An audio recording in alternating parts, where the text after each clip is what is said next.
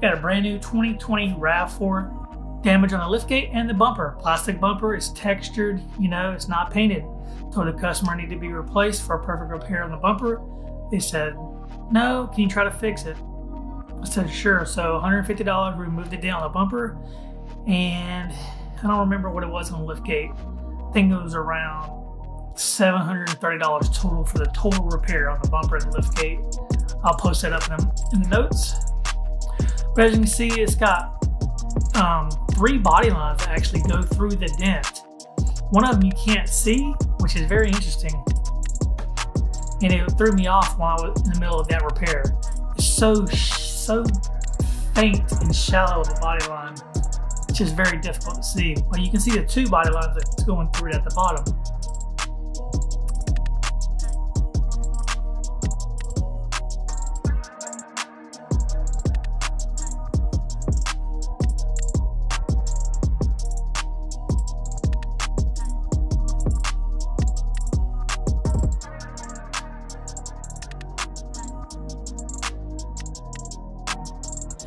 And um, that's what threw me off in the middle of this repair is not being able to see that third body line because it's so shallow. Or it's not very sharp, I should say. So the first step you do is um, get access to the backside of the repair. Well, what I did was take the interior trim panel off. And as you can see here, I did that. And I'm shining a light into the backside to show you that there's a little bolt right there you got to take off and the rest are just clips and it just snaps off. That little black piece.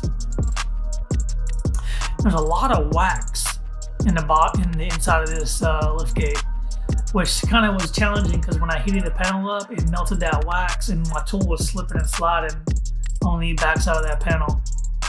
But there it is you can see the multiple dents in the backside of the panel right there on that lift gate. Eh, not too bad plenty of access and uh, which made it kind of nice for the repair having that much access. There were um, multiple places I went through to get um, push with, and one was the long route. I stood on the outside of the lift gate, and uh, well, it was difficult. It was very challenging. But this is what it looked like after I uh, got going. Maybe I don't know how long in here, maybe 20 minutes or so. Probably not even that, but I was able to get some of that body line up and the second dent right there, the sharp one on the bottom dent the body line, I couldn't get up. Couldn't get a tool in there. It just kept slipping and slipping and slipping. And I didn't want to use a sharp tool. Uh, so I had to figure something out. I really wanted to use a blunt tip to move as much of that body line as I possibly could. And you can see um, when I'm cross check, this is a cross check, you can see how sharp that dent is right there above the body line and around that body line area. You just couldn't see that sharpness from the other angle, but this angle you can see it very easily. So I had to think about it, say, what am I gonna do here? And I kind of said, all right, let's just take the latch off.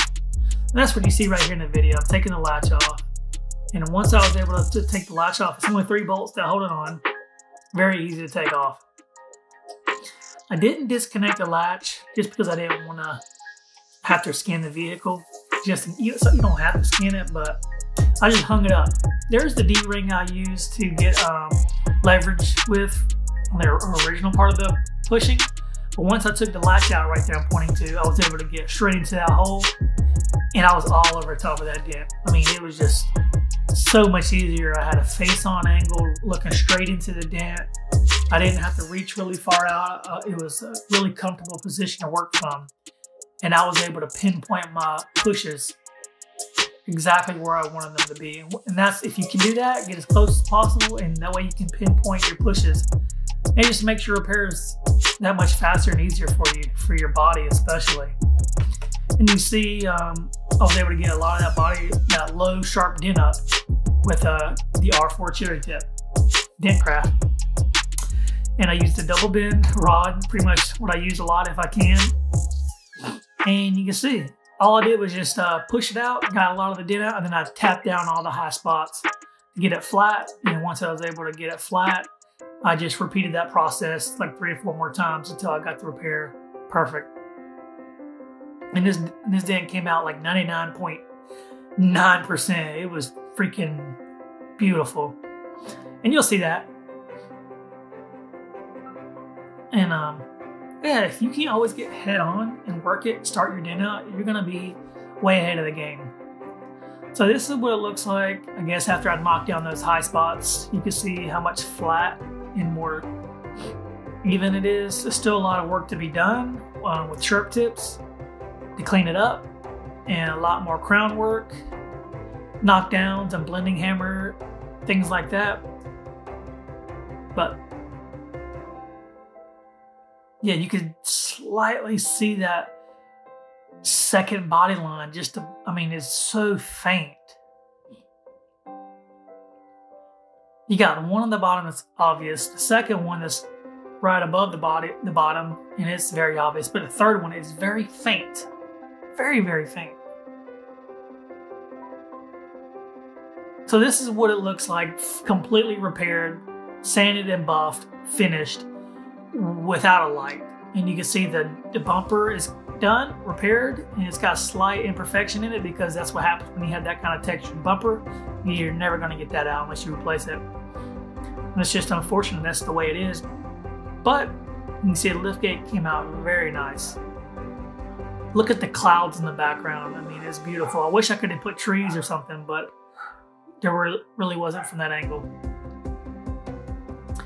I mean, look, it looks great. It looks really good. I'm happy about that. The customer was ecstatic. I think I was on this repair two and a half, three hours or so. Guys, like the video, subscribe, leave a comment below, let me know your thoughts. If you have questions or anything, let me know and I will respond. Thanks for watching the video, guys. As always, have a good day.